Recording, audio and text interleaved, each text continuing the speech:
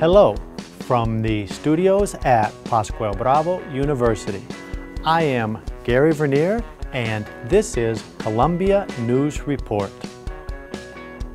At least nine people were killed in a landslide in the central Colombian city of Barrancabermeja, local media reported Sunday.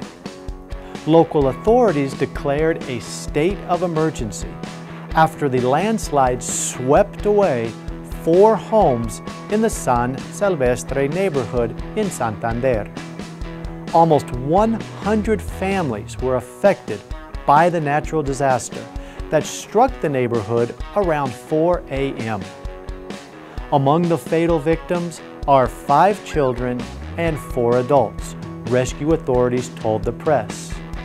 The report is unfortunately negative.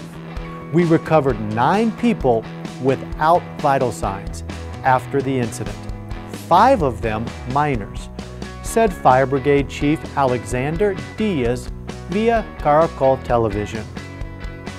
Local disaster manager Ramon Ramirez said that 15 more people were buried under the rubble, but that six were able to be rescued alive.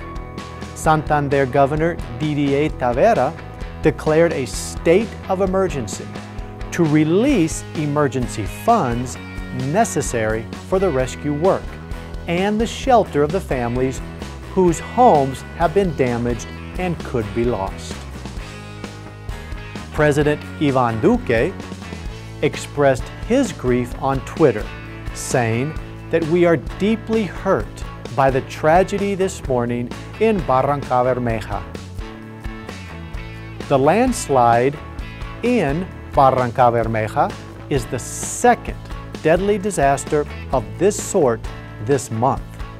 On October 11th, 12 people were killed in the more southern town of Marquetalia, Tolima, when part of a mountain came loose and buried multiple homes.